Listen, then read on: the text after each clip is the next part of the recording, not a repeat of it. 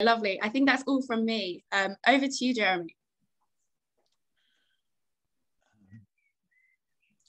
Well, thank you, Evie. Um, I'll just open up the presentation. And open it. That should enlarge.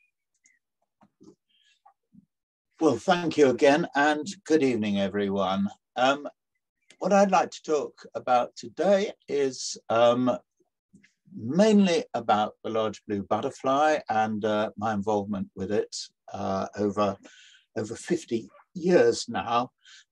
but to start with, I'll just um, give a little bit of background of where I've, I've come in. Um, I've been very, very fortunate. I was actually an undergraduate in reading zoology in Cambridge many years ago. And I've been very fortunate in being able to study butterfly ecology and conservation all my career. And my work has really divided into two bits. For a little bit, for about 20% of it, about a fifth, I've, I've spent analyzing the causes of decline and trying to and developing methodology to uh, measure what was actually happening to them in the first place. And secondly, uh, my main work has been to try and understand the drivers of decline because up to the 1980s, mid 80s, late 80s, there was actually no example in the world of the, a successful conservation of a butterfly anywhere. That is a deliberate one that hadn't been uh, conserved just because a, a, wood or something had been set aside. Um, so uh, why choose butterflies for conservation, apart from being interested in them in the first place? They make very good uh, model studies, um, partly because they're the most uh, best known, uh, best understood insects, and insects uh, react very quickly to environmental change. So um, quite early on, uh, it was clear that butterfly declines were an order of magnitude greater than birds and plants across the UK's. A little about the same time, it became clear when we looked at it that butterflies were representative of other terrestrial invertebrates. And in fact, uh, freshwater ones were doing slightly worse. Um, most worrying of all, from uh, the early 80s, it became clear when I looked at the patterns of change that actually there were as many extinctions on nature reserves, PA stands for protected areas, as ordinary unprotected areas, ordinary commercial woods and farmland.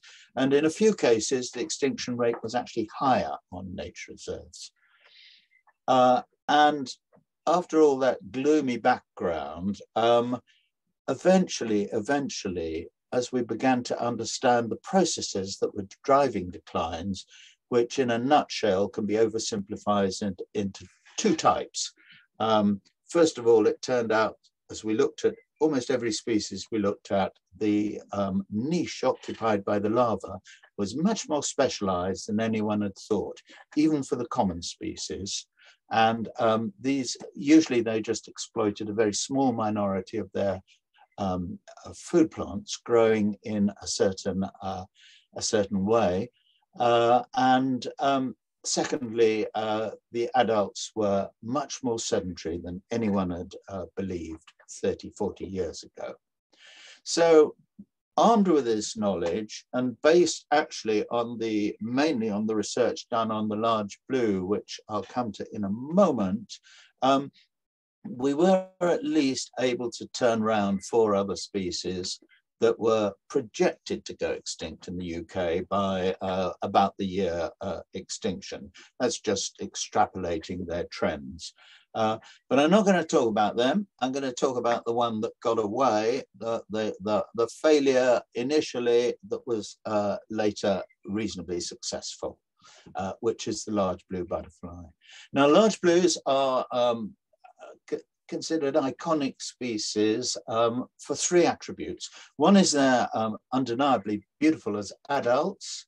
The second is that they uh, have a uh, extremely specialized life cycle, which I'll come to in a moment.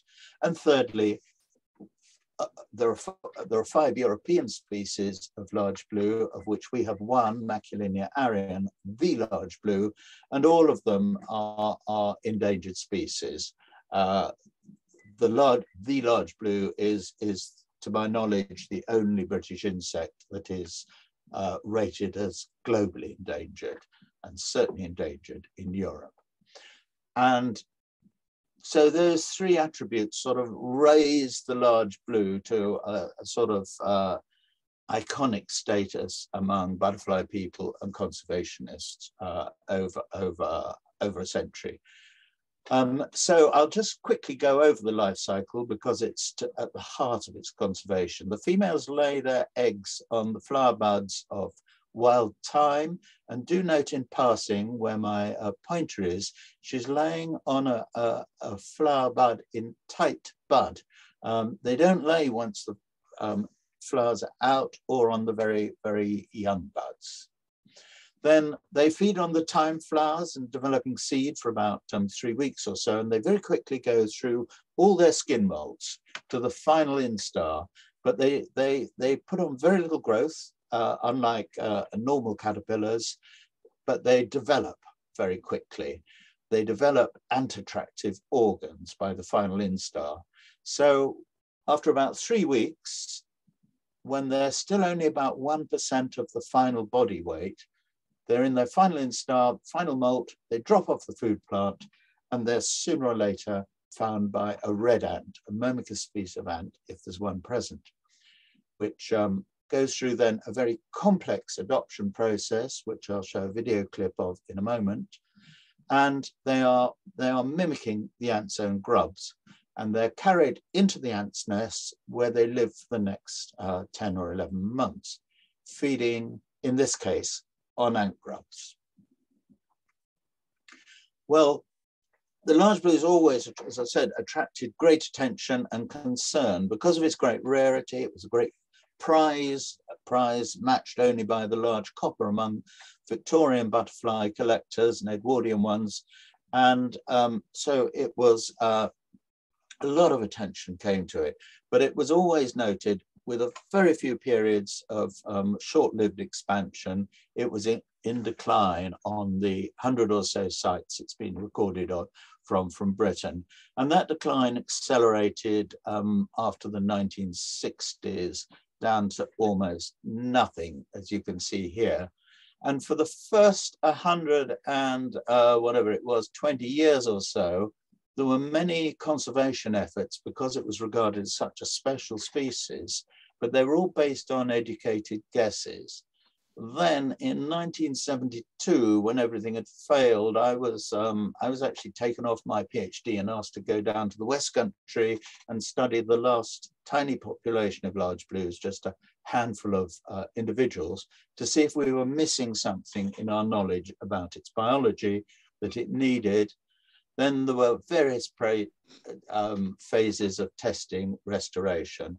And the research knowledge came alas too late to save the last colony, which, as I say, was down to uh, single figures uh, in these last few years uh, of adults um, but it did actually unfold, uh, open the book as to what was needed. And so we reintroduced it from Sweden, of which more anon, and, and here's the position we are now. Not all these are, are standalone colonies, they're, um, they're satellites of metapopulations, but they certainly count in historical terms as colonies. And there are now probably um, as many colonies in the UK as there were in the uh, 1800s. And um, we have the two largest known colonies in uh, Europe of this globally endangered species. And for all we know, the world, or, although there are bound to be some bigger ones. So let's go back to the um, early days when I started off, the great puzzle with the large blue and the puzzle for many species of butterflies that were declining for as I said earlier, there'd been actually no successful targeted attempt um, that succeeded uh, to, to conserve any butterfly up till then. Um, the great puzzle was why was it declining on nature reserves and other sites when its known resources appeared to be as abundant as ever? This is a site um, a year or two after extinction in Cornwall, and there was much thyme and um, red ants um, all over the place. So the premise was for uh, 130 years or so that um, the habitat was fine uh, for large blues but there must be some other um, other reason. And um, the obvious one was to blame butterfly collectors. People used to take their whole holidays uh, in the days when transport was uh, less accessible than now and go down to the West Country or the Cotswolds for two or three weeks and camp on sites and just spend the whole time uh, collecting large blues. So thousands were caught and there are many, many, many ones in, in the UK museums. Uh, and so that was a, that was a, a, a sensible, educated guess. Uh, and it led, unfortunately, in the 1920s to the second best site in the UK being bought as a nature reserve and a big fence being put around it. it was warden, collectors were kept off, and within about uh, five years, that colony and that colony alone, alas, had gone extinct because the reason was it wasn't collectors doing the damage, it was a, a, a subtle change in the management of the site. And it was, in this case, it was killed by kindness uh, and the normal grazing animals were also excluded along with the collectors and uh, uh, everything went pear-shaped. So in the early 70s, I was, as I said, drafted down to study the population dynamics of the last colony in the UK, which was tiny. And I, I basically lived with it for six months of the year, um, measuring anything, everything, how many eggs were laid, how, how did, how many eggs hatched, what was killing the ones that didn't, how, how well did they survive on thyme, which ants did they go into, um, uh, because it turned out there were five species of, it was already known or, or thought that only red ants, Myrmica species, were suitable as hosts for this butterfly, but there were up to five, there were five species on this last site, and they all took the caterpillars in. Then what was killing them in ants' nests, uh, and so on and so forth. Were they dispersing? What was uh, affecting the number of eggs laid? So um, I did this year after year, measuring and comparing different parts of the survival in different parts of the site, site. And I found about 28 different factors that were either affecting uh, egg laying, dispersal, or, or particularly survival. But when you uh, modeled it, when you boiled down, there were actually only about five or six that mattered. Um, and so I was able to construct a very simple uh, uh, mechanistic model um, uh, describing the population dynamics based on six, six factors, of which for conservation, by far the most important was this one, because although they were um, adopted by any species of ant that encountered them under the thyme plants on which they'd previously been feeding, they only survived, or nearly only survived, in one species, Myrmica sabuleti. So here's some real data I collected in the first years, and it was really difficult to get. So it took two or three years to get a statistically meaningful sample, even though the pattern was pretty clear from the beginning. But to, to, but to persuade practical conservationists to do different things on nature reserves, you actually have to have a very good case. Um, but here, here's, here's the sort of data I eventually got showing uh, about 10 times higher survival with Myrmica sabuleti than any other species of red ant. And if you put that into the model, this is just one example um, of, a, of a theoretical site starting with 23 adults, which is roughly a thousand eggs in four hectares with 100% Myrmica sabuleti at a certain density and a certain fitness, worker weight and so on, you'd get it stabilizing as this model predicted at about um, 3,000 uh, eggs or so. But if it was only two thirds Myrmica sabuleti and a third another species, Myrmica scabrinodis, um, then the value of lam lambda, the intrinsic rate of uh, increase, was exactly level. Uh, think R numbers, it's not quite the same as R numbers in COVID, but it's, it's not dissimilar. And if it was only Scabrinodis on the site, um, the survival rate was so low that um, extinction was inevitable within five or six years, starting with that initial number. So that gave us a bit of a clue, but um, before I get on to the practical conservation, um, I was lucky enough also in the uh, 1980s and onwards to be able to extend the work um, to the other four species of uh, Maculinea on the continent of Europe. And um, I thought I'd just introduce you to the other species. They're all endangered in different, different places. Um, sorry, I'll just go back one. And it turned out there were two types of lifestyle within the genus. Um, there was our species, the large blue, which actually is the most primitive form of, of lifestyle, where once it's in the ant's nest, it just feeds on ant grubs. Uh, this is a very inefficient way of, of exploiting the resources inside an ant's nest. Uh, you only ever get one or two butterflies per nest. Um, it destroys the host colony. And, and nevertheless, to survive in a Myrmica sabuleti nest and not be torn to pieces by the ants and fed to the uh, ant grubs themselves, you have to have a very close uh, mimicry of the ants, uh, which I'll describe in a moment. Whereas the so-called cuckoo species, we, we called them of large blue, have a, a very different lifestyle once they're in the nest. They actually persuade the, the ants to regurgitate food and feed them directly in preference to their own ant grubs, in fact. So this is a very efficient way of feeding because the ants are collecting food in the wild and instead of feeding them to their ant grubs, which the caterpillar then eats, they're feeding them, they're jumping a link in the food chain and they're feeding them direct to the uh, ant grub. And so you get roughly 10 times as many caterpillar uh, um, butterflies emerging from a comparable sized uh, ant nest as with the uh, predatory species of large blue, and it only weakens the host colony as a rule, but it does mean the mimicry has to be almost spot on for them to be able to survive in the first place. And as I looked at the uh, host, uh, at what which species were using which ants across Europe with a colleague of mine, um, Graham Elmes, in the 1980s, we got this very clear cut pattern that each species of Maculinea was um, pretty well dependent on a single and different species of Myrmica ant. Now, uh, that seemed too good to be true. And in fact, of course, it was. And as we uh, the work expanded to Eastern Europe, it turned out that there were some host shifts.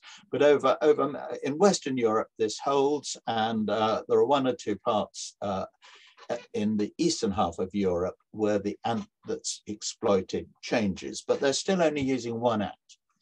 And the way they achieve this is um, is twofold, we eventually found out. We assumed from the first that they were mimicking the ants chemically because the way ants recognize each other, Myrmica ants recognize each other and tell their own nestmates apart from other, other um, nests of the same species and certainly from other species of Myrmica is in a cocktail of hydrocarbons that they secrete on the surface and they touch each other and it feeds through the and it spreads through the colony, um, this particular uh, cocktail. So here's the model at the bottom, and this is um, this is the cocktail for this particular species of ant, which is Myrmica ruginodis, of different hydrocarbons. Not only different types of hydrocarbons, but in a, a specific uh, concentration of different hydrocarbons. So when the caterpillar in this case, Maculinea alcon, is feeding on its food plant, coming up for its final molt. It doesn't, it, its, its chemicals on its body have no relation to the ant. But the moment it does its last um, molt, still on the food plant, and it drops to the ground, it has a very simple mimetic pattern, which actually is not good enough for any worker ant of any species to distinguish it. Workers can't distinguish even if you put ant grubs of different species of, of ant out there, the workers will adopt, will will pick them up if they're of the same genus. And it's only when they get into the nests that the much more discriminatory nurse ants here um, sift them out and kill any uh, perceived foreigner. So once they get into the nest, and if they detect it's the host species to which they're adapted, they then secrete an, an additional suite of chemicals which um, very closely uh, um, mimics the uh, model, close enough to survive. Uh, and uh, quite a bit of this work was done uh, with uh, Karsten Schönrogge, David Nash in Copenhagen did some, and, and the first breakthrough we had was with uh, a terrific postdoc, uh, Toshiharu Akino from Japan, who came over for a couple of years. So chemical mimicry in all the maculinea gets them accepted once they're in the nest as a member of the nest. But the more I watched them, the more it was a clear that there was something different going on where their behavior and it took a long time because they were they were clearly being treated on occasions as if they were queen ants in the nests um, which are sort of the supreme uh, individual that the ants will die for to kill and kill to, to save. And um, the only likely clue was acoustical on top of it. So chemical mimicry gets them in the nest. And sure enough, it took about 15 years before we could afford to get the kit to measure it. And then I also had a very good uh, um, PhD student from Turin, Francesca Barbero, and we did these experiments together.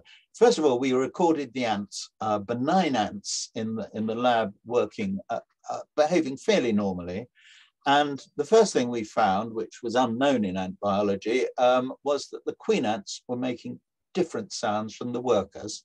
And the larvae, the ant grubs, were mute. They couldn't make sound at all. And then, so when we played the sounds back through little mics um, uh, to uh, lab colonies of ants, uh, the queen ant sounds, the ants just gathered around and sort of stood around the little mic and um, protected them. Then we found amazingly that the, um, the chrysalis and the caterpillar were making these sounds too, and they were mimicking the queens in three important attributes. Um, and when we played them back, they were actually close, closer to the queens and they were protected in as if they were queen ants. So what the story as we understand it now is they use chemically to get into the nest and acoustical mimicry once they've been accepted as a nestmate to elevate their status inside the nest. So, right, back to a bit of ecology and conservation. What this means, this host specificity, which had not been realized um, by the early people who were trying to conserve this butterfly, was that instead of being able to survive with any species of ant, um, they were dependent on um, one species of ant. In the case of the UK large blue species uh, with Myrmica sabuleti. And this meant that the ants themselves have very narrow niches in, um, in grassland. So whereas the food plant, thyme, grows in shortish turf up to about 20 centimeters tall, different species of ants take over as it gets um, shorter and hotter. And because the um, Myrmica sabuleti is in the shortest grass and because high densities are needed, the peak of this curve, um, the niche of the large blue, here Latin name Maculinea arion, is very narrow indeed. Uh, it's roughly turf that's one to three centimeters tall. And the reason is um, there's nothing magic about the turf height, but it's it's how much it's shading the um, the heat of the sun.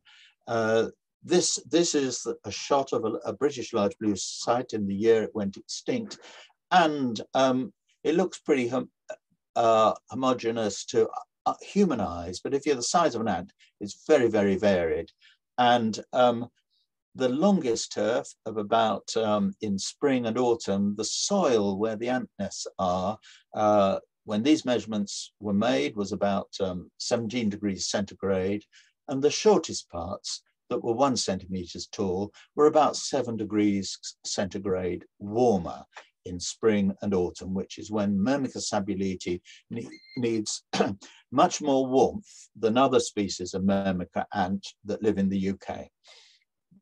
And sure enough, when I looked at, um, here's some real data on ant niches and Myrmica sabuleti on turf height of all the sites I could find, all the ones that had gone extinct, which were these ones, had, had turf that was much too tall and very low densities of Myrmica sabuleti, if at all. And this at last seemed to explain why the large blue had gone extinct from so many sites, including nature reserves. Agriculture had changed hugely. The flatter areas that were once pastoral uh, farming with shepherds had been uh, intensified for agriculture, leaving the valleys where they always were restricted to, um, to be abandoned. And they grew tall and the ants disappeared and the butterflies with it. So we then moved on to what I call the testing phase of this um, uh, program, which has lasted 50 years now, um, to see this was too late, alas, to save the large blue um, from its final colony going, but it seemed worth trying to see if we could, if the ideas were right, to see if we could restore this habitat. So um, on the acid soils, the scrub need burning back, and then we grazed it quite tight in spring and autumn, which is a form of uneconomical farming. And sure enough, the Myrmica uh, uh, ants came back very, very rapidly. So then David Simcox, who's now the project officer for the last 20, 22, 23 plus years, uh, and I went over to Sweden, which is another story, to find a race of large blue that was both similar to the UK and which we were allowed to take and, and, and introduce into the uh, UK to test if these ideas were right. And there were really two questions I had then. Will the emergence of Swedish ones match the time, the phenology of thyme, and will the caterpillars survive as well as the former UK genotypes um, used to with UK ants? And so under Q1, we knew already I, had found in the early days that the butterflies were very, very picky about which flowers they would, thyme flowers they'd lay on. There's a very narrow window of time in tight bud. If it's too young, they reject it. If it's too old, they reject it. And this stage only lasts a day or two or three for any, any thyme flower. And so it's a narrow window and a minority of plants are in that condition. And in, this is rather complicated, so I'll only point out here, in Sweden, they actually emerge much later in um, mid-July to August. So when we brought them to the UK, would they emerge early enough to use UK thyme? And sure enough, they did. Uh, we could hardly believe it. So here's the um, timing of the old UK race on this, these particular sites on Dartmoor. And here they are in the first three years when we introduced them to the sites. The other question was, would the colonies survive well enough uh, to, um, to uh, with under British conditions? Uh, and so we tested this on a number of sites. This is our longest running one um, that I use as an example. And first of all, we got the capacity of the site from being theoretically completely unsuitable for the butterfly up to what my model predicted to support about 120,000 eggs. The carrying capacity was raised that. And this is what the model predicted would happen if we put in the number of um, butterflies we did introduce in 19 in the early 1990s each year if we'd known in advance what the weather was going to be because droughts always to cause a decline and um, what the habitat management, how successful they were in hitting the spot that we, the sweet spot that um, we were asking. Um, and that's what's happened over 30 generations without any extra ones being uh, put in, uh, which uh, has, has been very pleasing indeed. Uh, and just to carry on with this site, Greendown, which now supports the largest known colony of large blues in Europe, this was photographed uh, only yesterday uh, and this is this egg we're rather pleased with because it represents the 30th generation since they were introduced to, to this, this part of um, uh, the UK. So, but to go back long before that, this was uh, the early results were sufficiently um, uh, promising for a consortium of conservation bodies to uh, manage former sites. We've got about 100 sites under some form of so-called large blue management. Um, and as I said earlier, since the uh, late 1990s, the practical work has been led um, by, and, and the uh, advice has been uh, led by David Simcox, very ably helped uh, for the last 12 years by Sarah Meredith. Um, whereas I've, I've, I've done quite a bit, but I've stuck mainly to the science. Uh, I handed the baton on and they've been very successful. So we have two types of restoration going on. Um, most involve uh, targeted grazing of abandoned sites. But the ultimate test was to see if we could recreate or create from scratch new large blue habitat. Um, in uh, we've got about seven examples now, starting with arable fields or, or construction such as railway construction, uh, or, or, or where um, conifer plantations on former limestone grassland had failed. So here's one of the examples uh, David and I designed in 2004. Um, and um, that the red is what happened with the ants and the large blue colonized very quickly. It was very close to another colony, to Greendown. Here's another site that David uh, um, designed um, a, couple of years later on the same uh, main Paddington to uh, Paddington line. Um, and um, here's the, the construction. Obviously the engineers did the basic work, but we, as it were, were allowed to um, play or modify the, the microtopography and spray on uh, a, a, seed mix of local, local plants. And sure enough, uh, a little later on, it was supporting a lot of spe desirable species, including a rather small, in this case, colony of large blues. Now, um, the Cotswolds, uh, so the Somerset, Somerset went very well indeed, and we've got a string of colonies there, in, including um, two, two large ones. The Cotswolds was much more of a challenge, but um, we have at last been able to um, uh, establish it on, first of all, on Daneway Banks, the uh, Gloucestershire Wildlife Trust and Royal Entomological Society's uh, beautiful reserve in the Cotswolds. And in the last two or three years on um, we're, we're beginning a big push now to try and get it across the Cotswolds, which uh, to its former stronghold there. Uh, so here is uh, its classic site of Rodborough from which it went extinct about 150 years ago. And it started, um, and it was flying there in good numbers the last two years, and it's just out there again. So here we are, um, 50 years on, uh, numbers go up and down. This isn't on a log scale, uh, and these are drought. These are drought years. These two things. This was a freakishly good year for weather, and I think it's going to stabilize somewhere around here this year as we had more, uh, but gradually creep up as we had more and more sites. Now, if I've got two minutes, uh, is that okay, Evie? Um, I will show three or four slides. Um, on some of the wider lessons. First of all, Graham Elmes and I estimate that there are probably about 10,000 other species of insect, not, not many of them butterflies, that have this sort of lifestyle. That is more species um, than, than birds in the world.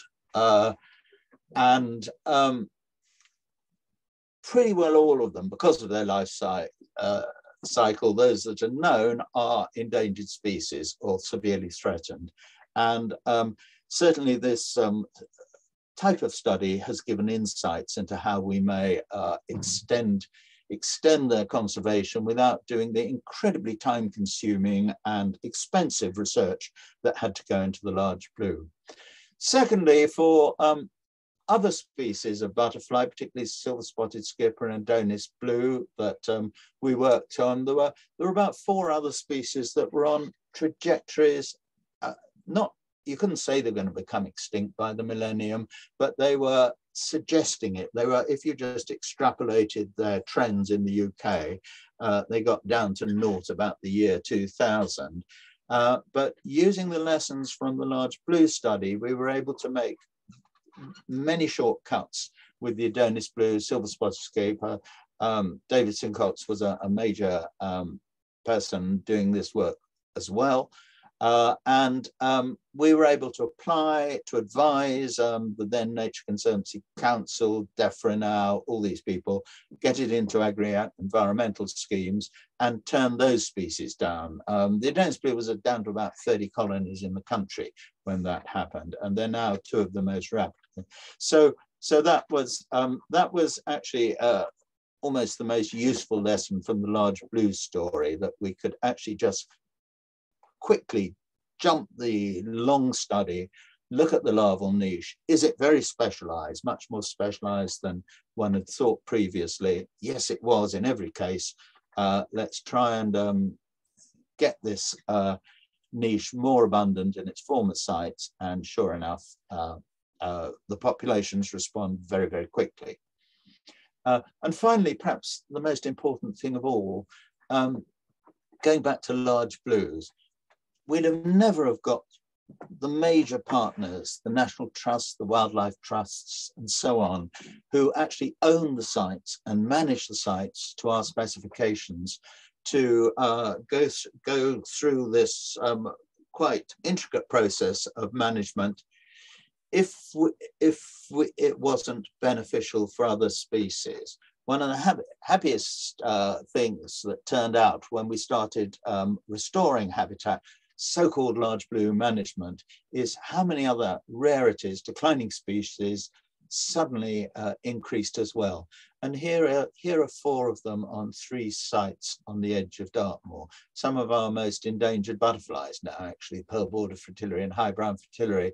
And here's what happened. This is on a log scale. Uh, this is what happened nationally over this period on a log scale. So they were down to about 10% of numbers, uh, the high brown and the pearl bordered.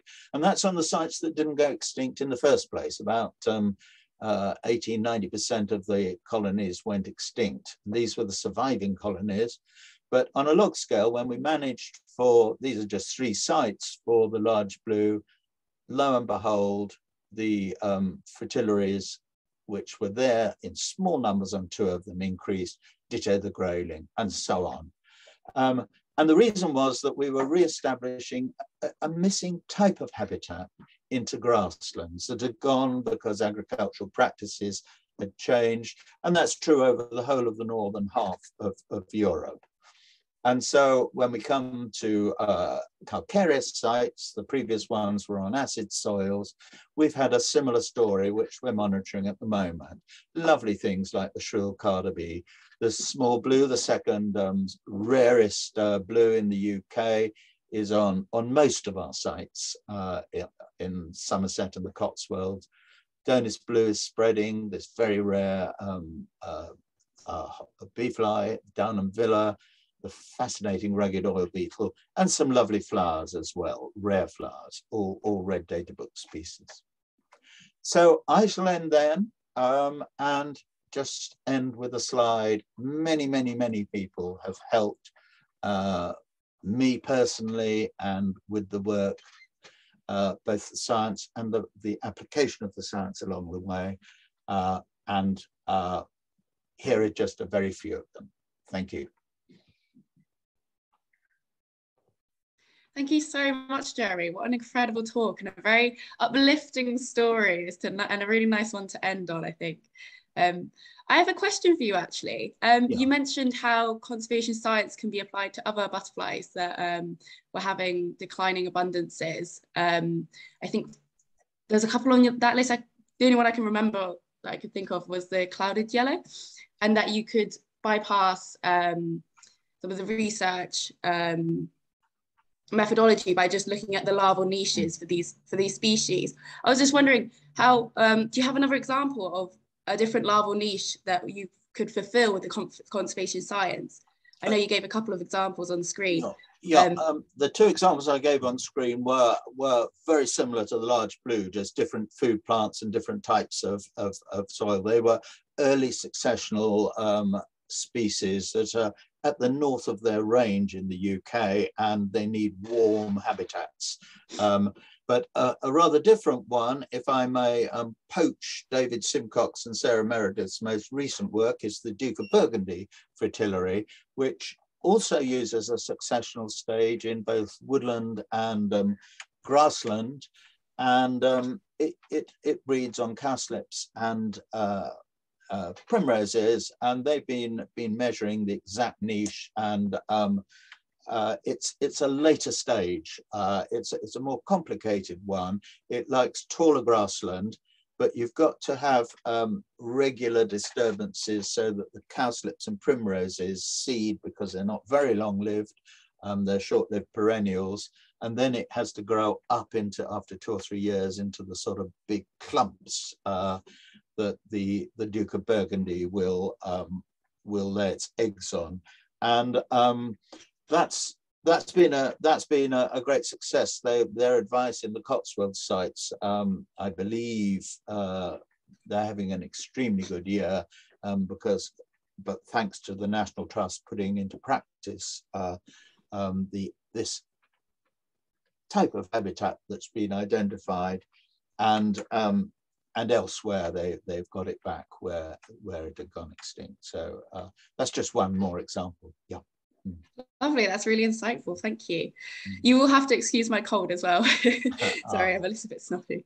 Um, yes, and actually, I was just wondering, you showed us some of those clips. Um, the one I could see was from Netflix. Are you able to talk to us a bit about what those clips are from? Uh, yeah, the um, the the one of the um, Alcon Blue, the one that um, had the feeding frenzy, uh, fed directly by ants, that was a Netflix film that came out about two years ago and is available. Uh, gosh, I can't remember what it was called, but it was I think it was just called Grasslands. It was it was a it wasn't on the large blues themselves. It was about um, five, six, seven minutes in an hour long film, uh, which included cheetahs and uh, you know grassland species, uh, spectacular grassland species across the world. And I think it's just called Grasslands. Uh, uh, the other one is a film that's being made now. In fact, they're cutting the rushes, uh, uh, will be as, as I speak, I think, by someone called Silverback Films. And um, it's projected to be on um, one of the BBC channels later later this year. And I believe Attenborough is going to be, well, he's lined up to do the commentary uh, if, if, if available, put it like that. Uh, wow, oh, that is incredible. I, I can't wait so, for that to come out. Yeah, but that again is is uh, one on general British British wildlife, and this will be I, I don't know how long, a five minute, ten minutes. But they've got the whole life cycle of, of our, our large blue, which is much much harder to film than um, the Alcon blue one. Uh, they're very hard to keep in captivity. Mm. Oh, lovely. Okay. Well, um, keep an eye out for a David Attenborough um, documentary yeah. on British wildlife, everyone. I just don't know what, the, what the, I, I, don't know what the name is is going to be yet. I may have been told, but I've forgotten. lovely. Well, I'm sure we'll see it advertised on our TV. So mm. everyone keep an eye out for that one. Mm. Okay, perfect. So I think all the links have been posted and you've got our questionnaire um, at the bottom if you'd like to fill that out. As I do say, it does help give us a bit um, help uh, give us a bit of feedback for which to improve our events in the future um, with. Yeah. So um, okay, I think we're ready for our Q and A session now. Um, let me know all your questions in the Q&A chat um, and hopefully we can dive straight in. I think so far we've got a question from an anonymous sender asking if about the recordings. So um, all of our sessions are being recorded. Um, they're going to be posted on our YouTube channel, of which the YouTube channel, um, all of the clips from the YouTube channels will be put into a blog post, which I'll be uploading in the next week or so um, on the Museum of Zoology blog. So if you've missed anything, don't worry, we've recorded it and you can come back and delve straight in where you've started or left. Yeah. So not, yeah. not a problem there. I think want, we did have, oh, sorry. Sorry, do you want me to read these questions and try and answer them? Uh, or are you going to read them out? What do you? Oh, you, I'll you read them out. You read them out. Okay, yeah. I shall close these questions in that case. And, and no listen. problem. Hmm. So Roger asks, how did you establish the biochemical signals of the butterfly larvae? And he also says, amazing. I'm, sure, um, I think you're referring to the talk as well. Oh. um, yeah, uh, we did it in captivity with a solvent from the caterpillars. And um, then uh, I say we, uh, I didn't actually do this because I'm not a chemist. Uh, this uh, uh Akino, my, my um, Japanese postdoc, is a brilliant chemist. Um, and um, first of all, we identified the chemicals um, by by just uh, uh, we got solvents and we identified them through a, through a, mass spec. And then um, having identified we did we did two things. We um, put them on dummies little little glass beads with a little bit of um, tissue in them to see if the ants would react to them. And um, sure enough they did. They actually carried them about. And then the real test um, was Akino went back to Japan and he synthesized some of these chemicals and sent me um, cocktails, uh, mimetic cocktails, which we put on dummies again and we tested on ants in the labs and they picked them up. And they took them to their nest and they behaved uh, as normal. And if you put the wrong uh, cocktail on, or that is of a non-host ant, they, they didn't, or they attacked it if you put it in the nest. Mm. Okay, wonderful. Mm. Very insightful. Thank you, Jeremy. Um, so our next question asks, presumably you have to actively discourage the wrong species of ant, or does the grazing schemes uh, utilized lead to the only the correct Myrmica ants becoming the most abundant? Yeah, that's a very good question. That but that's uh, the second part is is what happens. Uh, it's if the habitat's right for these ants, uh, it's well nigh impossible. You get uh, on on our best sites, we get um, two. They have small nets, smallish nests. We get two, even occasionally three nests per square meter. You know, over a few few hectares, um, and it's in. They, they, they leave very quickly if the habitat is unsuitable for them within a year or two, usually and get displaced by other species of red ant. But if you then um, get their optimum niche uh, in the grassland, and that's that's the the timing that matters is in spring and autumn for Myrmica sabuleti, um, because they need a lot of warmth on their nests. Uh, they don't build ant mounds like the yellow ant, the yellow meadow ant, Lasius flavus. Um, so they, they need short turf, which um, I showed one slide. It's, it's much warmer in the soil than under taller turf that shades the sun. Uh, in, in autumn and spring, in summer when the, when the sun is stronger, um, they do very well in, in taller turf and that, that allows the flowers, all the flowers to, to bloom and seed and everything. So uh, yeah, the ants come and go very quickly, displacing each other, um, just, just in different uh, levels of grazing. Wonderful, thank you. Our next question is, how can I be a zoologist? I am a 12 year old child. Wow. Do you have any advice for an aspiring zoologist? Uh, well, um, if you want to do research, uh, it's quite competitive. So uh, you'll need to do uh, study biology at any rate um, at, at, A levels and And um, if you want to do research, you really do need a university degree. Um, uh, in the old days, you didn't, but to get accepted for posts, which uh, tend to be quite competitive, uh, uh, you you get less of a it, you really get a look in if you've got a, a, degree and a, and a, good one. And and nowadays um, a master's or a phd is really helpful if you want to do research. It's not not the be all and end all but um, but if you tend to graduate with a, a, a BA, a master, uh, um, you uh, uh, you you're more likely to be part of someone's team. And it's the best way is actually to become part of someone's team.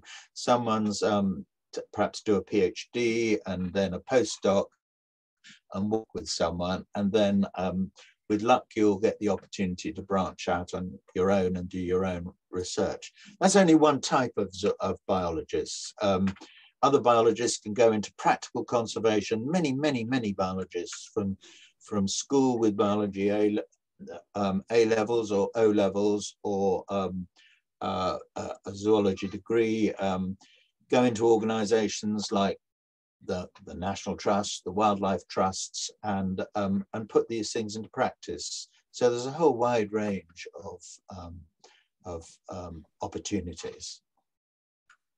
Amazing. They don't, all, they don't all pay very well, I should say. That's the downside of going into yeah. ecology and studying what you love, isn't it? yeah, yeah. And do you have any anything that this young uh, zoologist could get stuck in with now, um, while she's waiting to go to university, or they? At, I should say. At, at what age is I forget? I haven't got the. Twelve is is, 12 is, is what's written. Well, well, well, yes, because I mean, sticking to the theme of butterflies, which I know best, the lovely thing about um, butterflies is the basic natural history of so many species. There are observations you can um, make just by rearing the caterpillars in captivity and watching what they're doing. Um, all the blue butterflies to some extent and the, the um, lycaenids, that's the blues, the hair streaks and um, the coppers, uh, interact with ants, uh, sometimes only in the chrysalis stage. And there are, there are huge gaps in knowledge as to um, how they're behaving with ants, uh, really quite common species. Uh, and grass feeding butterflies, just watching which grass species they're uh, feeding on, if you can find them in the wild in the first place. If you've got a school teacher or a local um, natural history society or wildlife trust that um, has someone who can help you or, or a, a nearby university come to the, that and get and get some caterpillars and rear them yourself. You can actually make in this field, unlike, for example, uh, particle physics, where uh, you need uh, multiple million pounds kit and high levels of training to even begin. Um, people, amateurs can do this in their backyard and make real breakthroughs uh, of, of, of many of our, our British butterflies, let alone the ones on the continent of Europe. Hmm. Wonderful. So you can get out there, get stuck in with nature and yeah take a look at what you find really. And you can also record that on um, using citizen science like um, the big butterfly count for instance um, which is launched by butterfly conservation which will be running this summer actually. So that's a really great way to get stuck in if you um, haven't come from a research background so far. Hmm. so our next question comes from rebecca. You mentioned dartmoor a few times where you can see large blue butterflies. Now they oh, sorry. I'll start again um, you mentioned Dartmoor a few times. Where can we see large blue butterflies now they are reintroduced? Um, well, not Dartmoor, unfortunately. Uh, the story, the large blue story is a very long and complicated one, and it did really well on, well, it did well on Dartmoor for the first um, 22 generations from uh, 1980, gosh, three, I think it was. But um, Dartmoor was always a, a, suboptimal site. The soils are very thin, the populations were much smaller. It just happened to be the last place they survived because the pastoral old-fashioned farming carried on longer there than anywhere else.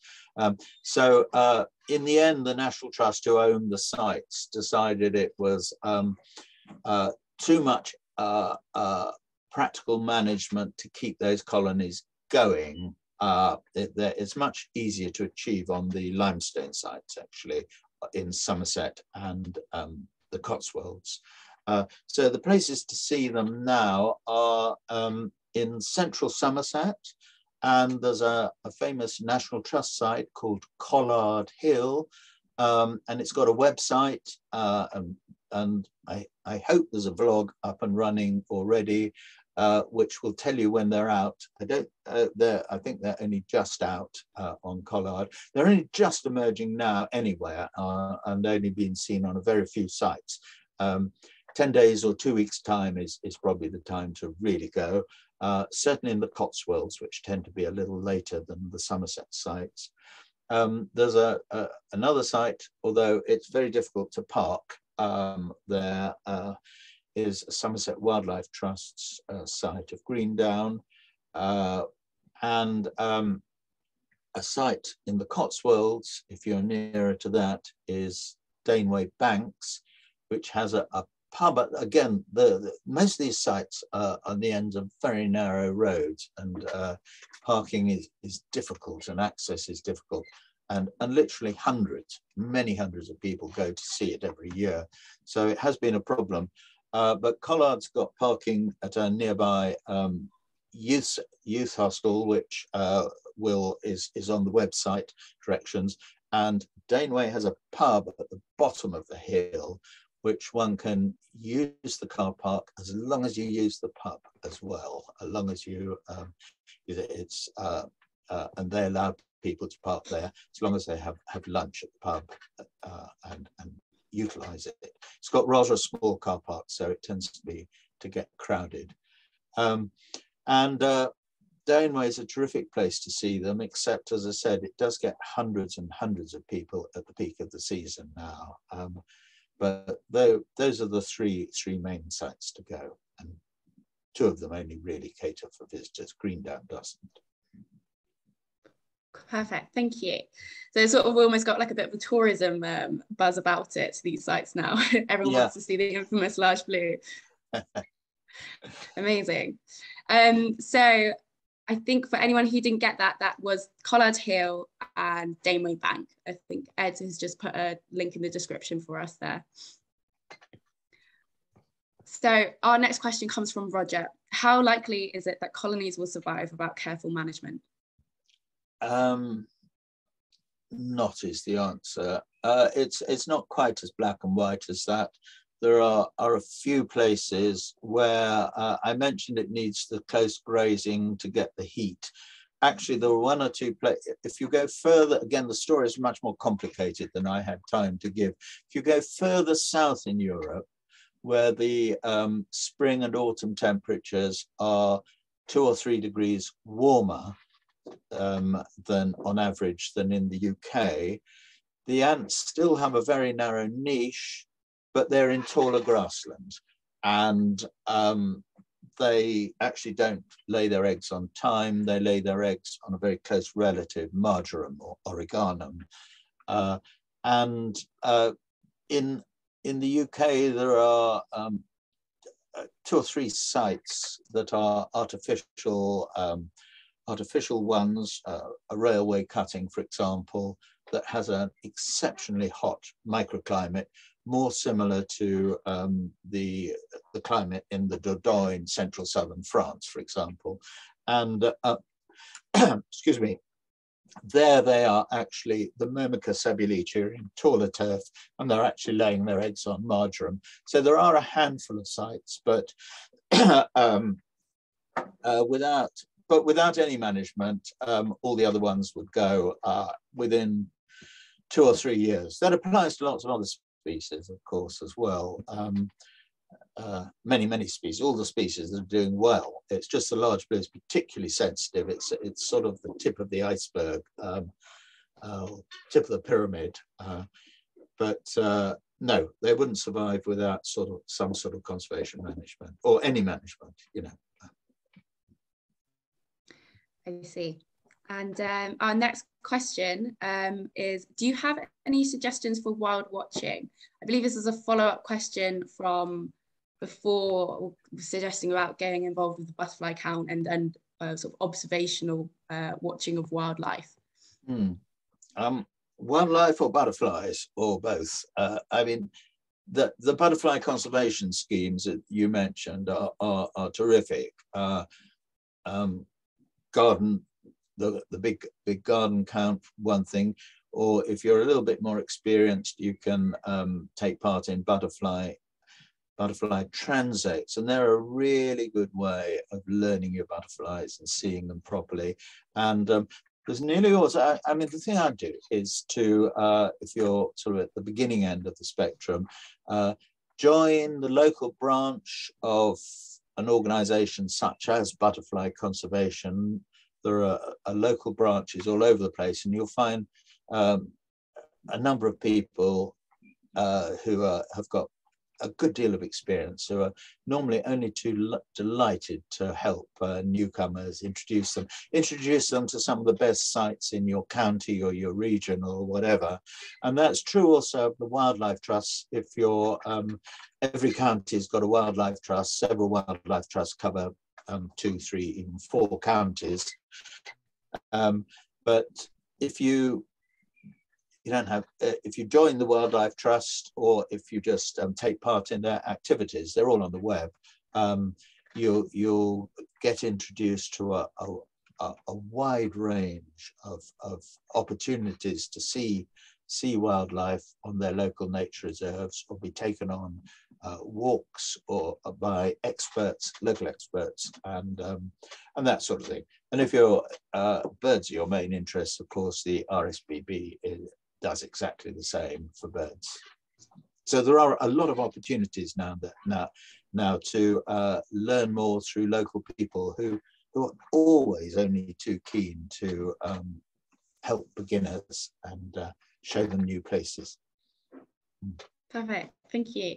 And if you are just starting out on your ID, I do recommend getting um, one of the Field Studies Council, just little um, pamphlet sort of guide, ID guide. They're really super handy, super portal, uh, portable as well. Um, and I think sometimes buying a book can seem a bit too heavy or I might not take that out as much. If you're just sort of just learning your first steps of ID, those um, portable pamphlets are really, really handy, I find. And I think our last question comes from Roger. Um, how do the adults escape escape from the ant's nest? Really good question, actually. I don't think we covered this. Oh, that's a very good question. Um, we don't completely know is the answer. They come out, they actually emerge very early in the morning uh, when the ants are quite quiescent. Uh, and they do make a lot of those noise, but they do make a lot of those noises, which winds the ants up quite a bit when they're breaking out of the um, pupal case. Uh, but they're, they're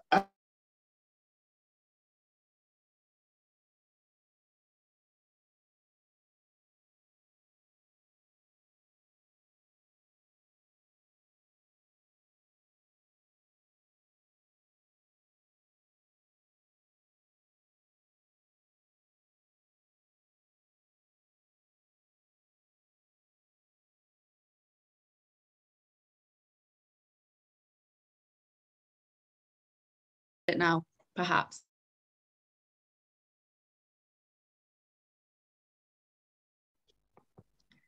that may that may be all then in that case. Um thank you so much jeremy. It's been incredible listening to that story and your um, knowledge of the large blue is inevitably endless. Uh, i feel very enriched on its story i have to say. Um, and what a what a wonderful way to round off our researchers story series. Um thank you so much once again for for joining us today Thank you all once again for coming. Um, it's been really, really special. Thank you guys.